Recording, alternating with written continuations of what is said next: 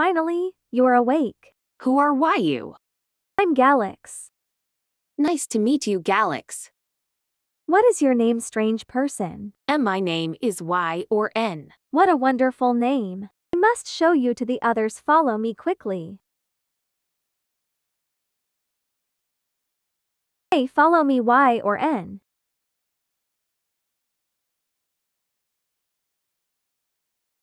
Come on Y or N.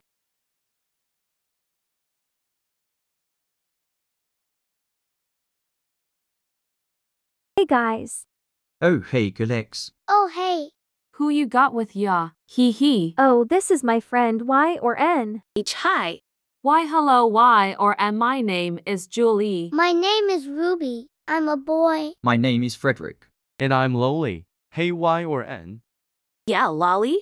If you see this person, do not interact with them at all costs. Why not Lolly?